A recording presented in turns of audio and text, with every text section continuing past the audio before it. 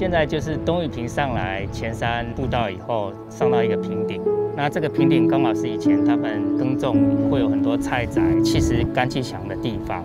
那你可以看得到，现在前面远方大概都是以前一块一块的田，所以我们会沿着田埂路在走。可是这田埂路来说，刚刚问了当地居民，他们没有迷路的问题，可是对游客来说会有。所以，呃，我们现在来的话，第一步先确定路线，所以到时候会有轨迹的路线。再来就是我们会在经过路线的地方，每隔固定的距离会堆一个石塔，让他们清楚知道，大概沿着石塔的方向走就是正确的路线。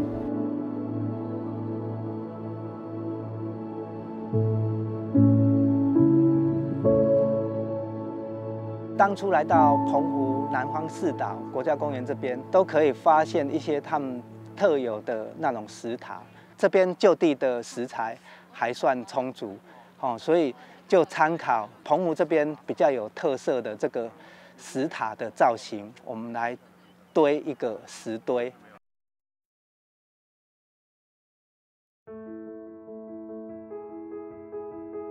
哦，这边我们就是把底座要挖出来的那个范围，先把它界定起来。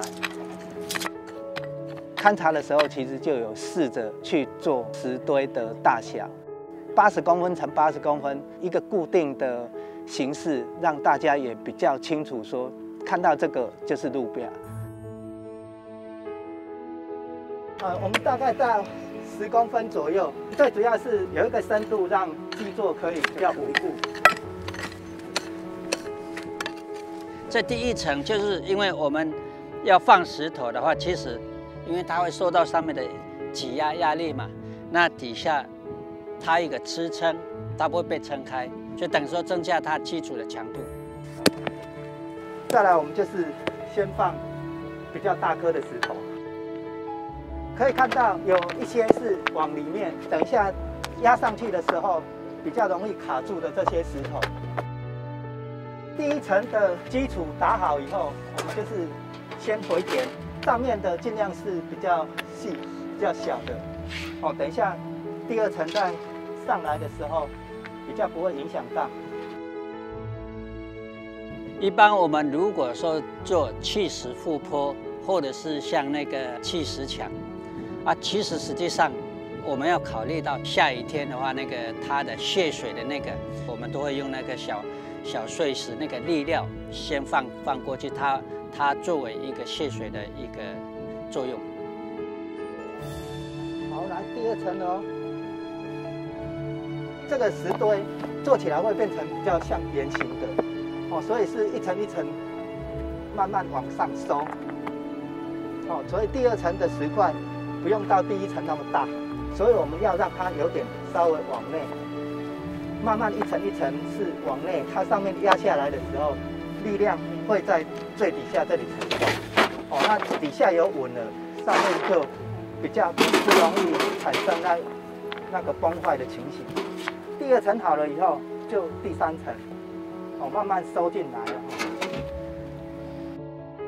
我们今天如果说拿一颗石头放下去的话，你一定要放稳，所以底这边底下一定是平的，对不对？但是你要考虑到，你上面这个，你下一次再放的石头的话，你一边放，放稳了以后，下一个你要预留一下，下一层的那个石头放下去是稳的。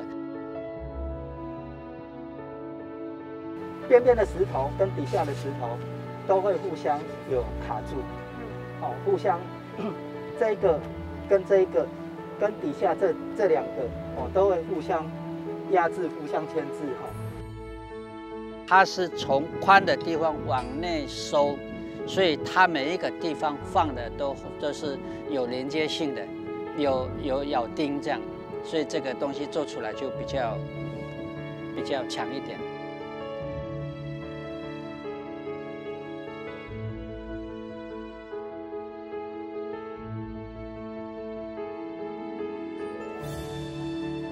这边。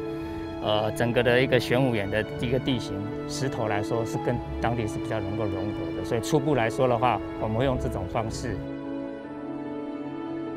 那维持这种原始的荒野的跟自然环境的融合，是我们最大的目标。